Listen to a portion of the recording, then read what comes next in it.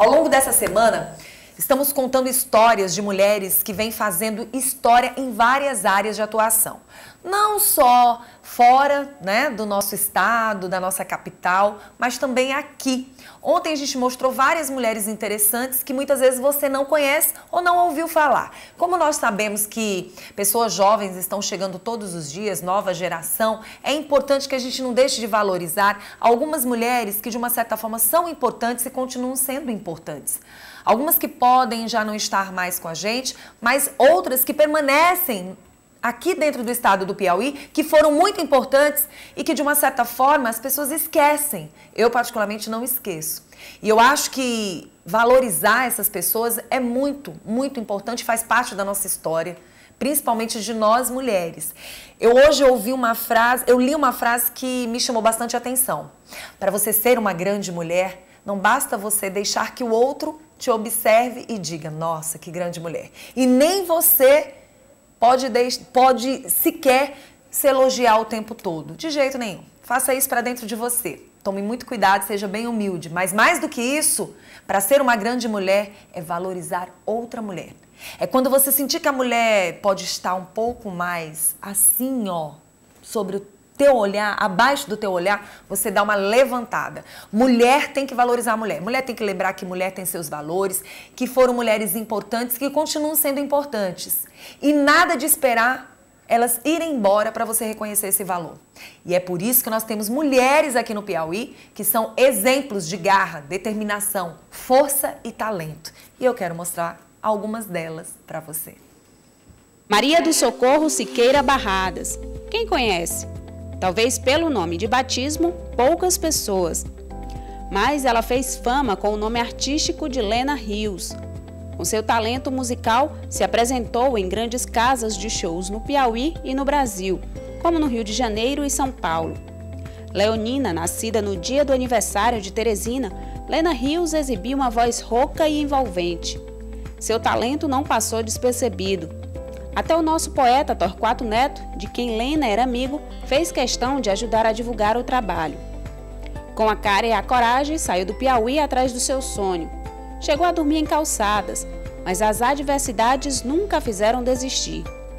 Artista completa, Lena Rios venceu as barreiras dos palcos e emprestava seu talento também em uma carreira na TV, nas rádios e até mesmo no impresso. Aos 16 anos, por exemplo, foi colunista aqui no jornal Dia, com Lena Livre. E falar em mulheres de destaque no Piauí, não tem como não citar Elvira Raulino, a papisa do colunismo social do Piauí. Comandava as mais prestigiadas festas e eventos sociais do estado. Sua fama era tanta que ela chegou a dividir palco com o saudoso Chacrinha, sendo jurada em um programa de auditório de uma emissora nacional. Sua popularidade lhe rendeu um mandato de prefeito em Altos, município localizado no interior do Piauí, mas foi na comunicação sua maior contribuição. Fez carreira no rádio, na TV, no impresso, abrindo caminhos para as mulheres no jornalismo. Falar em pioneirismo é falar também de Genu Moraes. Filha do ex-governador do Piauí, Eurípedes de Aguiar, Genu se tornou uma das figuras mais conhecidas da sociedade piauiense seus chapéus e leques eram suas marcas registradas. Escritora e jornalista, participou ativamente da vida política do Piauí. Dona de uma personalidade alegre, Genu era conhecida também pelo seu espírito livre e por adorar quebrar paradigmas. Foi a primeira mulher a ter carteira de motorista no Piauí e também a primeira a se tornar presidente do Sindicato dos Jornalistas do Maranhão, foi chefe do cerimonial do governo do estado e vereadora em São Luís, no Maranhão. Em 2015, aos 87 anos, Genu nos deixou após sofrer um ataque cardíaco, mas seu legado se mantém vivo até hoje. E não tem como falar em mulheres de destaque e não citar a escritora Amélia Bevilacqua.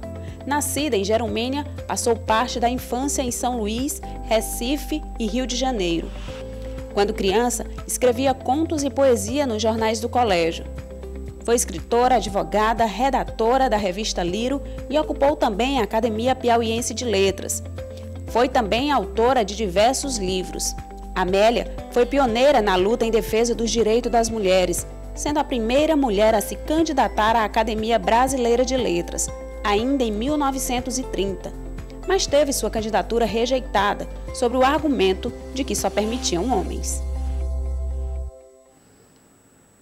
Muito obrigada, Maiara, em ter trazido essas histórias. São histórias que eu particularmente gosto de falar, sabe, gente? A Lena Rios, a Barradinha, eu tive o prazer de estar trabalhando com ela.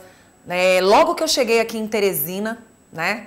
Há quase 30 anos atrás, eu estive perto dessa mulher maravilhosa, tive o prazer de estar no rádio conversando com ela e eu, eu digo de verdade para vocês, assim, é algo que de uma certa forma me chama bastante atenção é o valor dessas mulheres, porque olha, a Barradinha foi uma mulher que esteve perto do Torquato, foi uma mulher que esteve perto de várias feras da música popular brasileira, além de radialista, cantora maravilhosa, sabe? Uma mulher que atuou até um dia desses no rádio e que tem para mim é, o seu nome, uma referência extremamente positiva.